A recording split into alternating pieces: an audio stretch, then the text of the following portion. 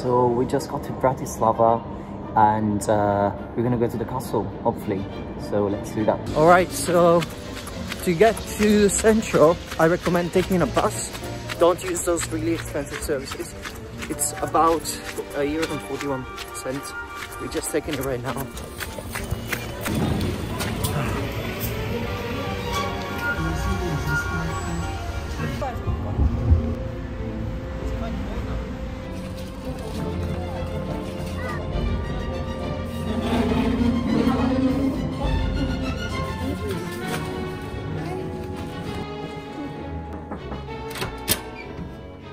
How's it going guys? So we actually got this really good accommodation in uh, Palace Apartments. It's really really cheap. We paid 80 pounds per night but as you can see we've got a king size bed here and then upstairs there's two more beds so we paid about 30 pounds per person and it's in central Bratislava so it's really really good. We're gonna try some traditional food here and uh, it's actually a brewery so it's gonna be interesting. Thank you.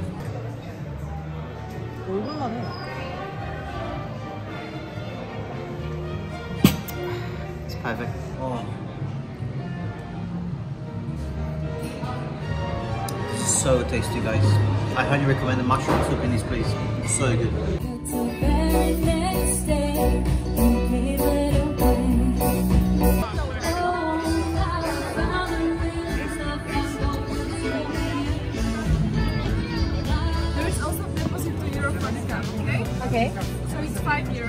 And try mulled wine here. It's super nice as well.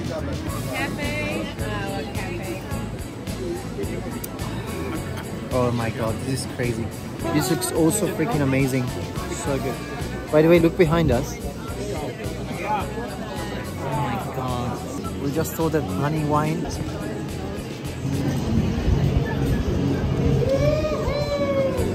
Oh my god, it's so good. It's freaking nice. Just warm up really well here. It's great. To get a bit outside the central area, you can go to the UFO tower right there.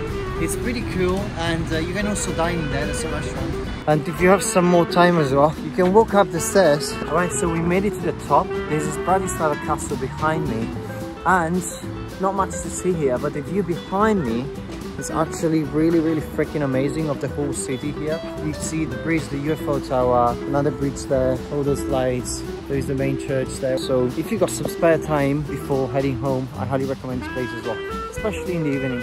It's quite cool here. We actually found a way to get in. So it's actually open. There are huge lights here. They're like stadium lights. So even if it's night and really dark, you have a really cool view of the castle. Come up here in the evening. It's very cool.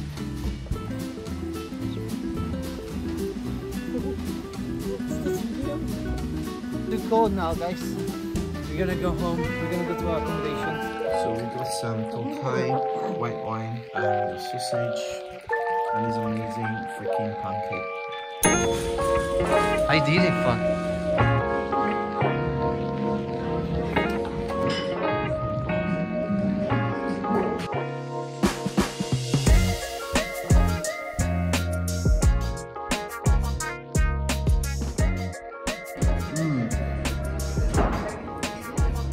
We are here in the presidential palace just behind me. It took just about under 10 minutes to get here from central Bratislava. It's really, really close. Really nice looking palace. It's got just a few little details at the top there. As you can see, there are a few statues there. Really cool design. And these are the guards. They are just standing there.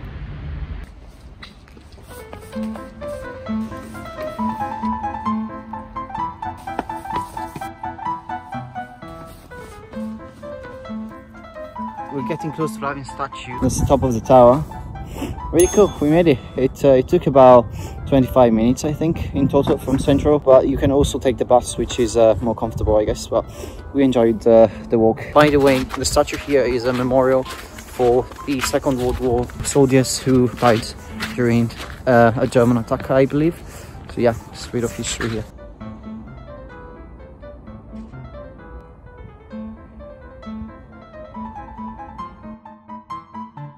There you go. Done.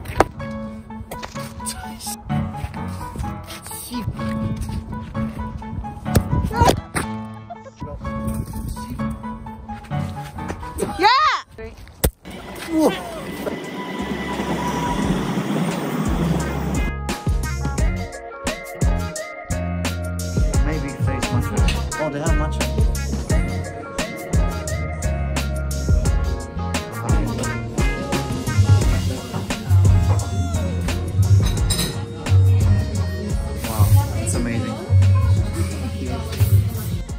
Oh, and by the way, just a few minutes away from there, there is a freaking blue church. Here it is. Really cool, cute blue church here. Uh, really nice. In front of us here. Okay, so let's try these um, amazing Bratislava rolls. They look like these are really traditional pastries. Let's give it a go. They're really, really dry. Uh, they've got quite funny shapes. It's like a half moon thing.